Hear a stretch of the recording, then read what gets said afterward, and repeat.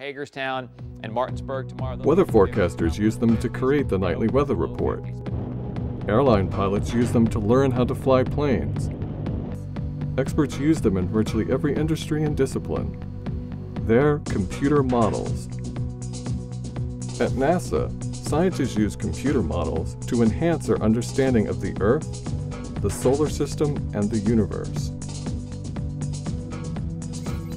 NASA satellites orbiting the Earth relay immense amounts of data back to scientists on the ground, who can then enter that data into computer model simulations.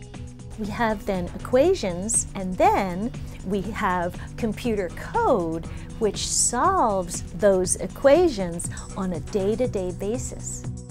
NASA is the source for most of the research satellite observations of the atmosphere, land, and oceans. So the NASA scientists will look at the observational data and make theoretical projections of what a model might look like, and they will build a numerical model based on the data and then run that on our computers and then compare that to reality. With rapid increases in computer technology, models are becoming ever more powerful and sophisticated, allowing us to simulate our complex environment in greater detail. NASA uses a variety of weather models, such as the Goddard Earth Observing System model, or GEOS-5. It creates an extraordinarily high-resolution, realistic-looking view of our atmosphere. These GEOS-5 simulations showcase the model's ability to capture fine-scale cloud features worldwide, like the swirling clouds in the Atlantic Ocean off the coast of North America. The goal of weather models is to give the most accurate prediction of weather over the next week to 10 days. In 2005, when Hurricane Katrina formed over the Atlantic Ocean, scientists wanted to understand the storm how intense was it? What was its size and structure? And what would be its final path?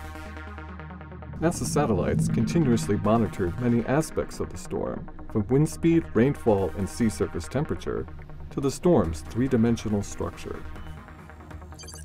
To get a more complete picture of the storm and predict its evolution, scientists entered the data into a computer model. Then, high-powered supercomputers capable of trillions of calculations per second crunch the numbers. This process is called data assimilation. Data assimilation is a two-step cycle that repeats itself whenever new data becomes available. In the first step, the model runs forward in time to provide an estimate of the atmosphere. In the second step, this estimate gets corrected using observations.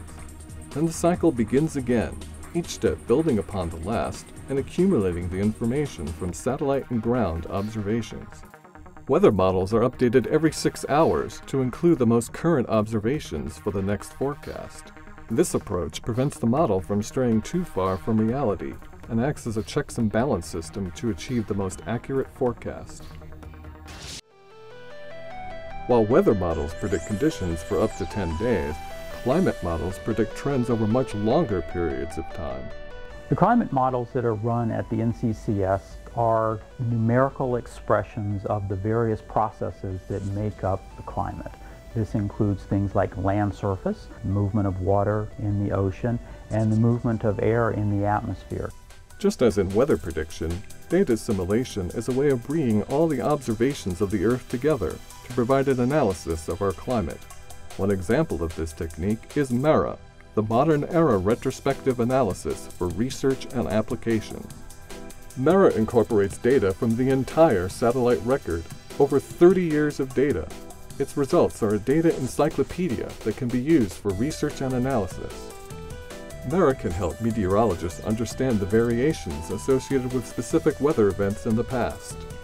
While MERRA gives us a climate picture across decades, the Goddard Institute for Space Studies, or GISS, can extend that view across centuries. GISS models have already unraveled average temperature trends over 200 years. New GISS simulations will cover the last 1,000 years to verify the model's accuracy.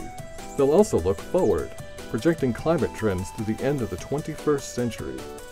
With each satellite launched, we gain millions of measurements that tell us more about our planet. Having so much more data will require increases in computing power to synthesize this information into meaningful representations of the climate system as a whole. At Goddard Space Flight Center, we have a tremendous amount of observational data which is captured by our satellites. We have probably the largest collection of Earth scientists anywhere in the world, and we have this new state-of-the-art computing center. So the combination of the scientists, the data, and the computing puts us in a unique position to enable advances in weather and climate research.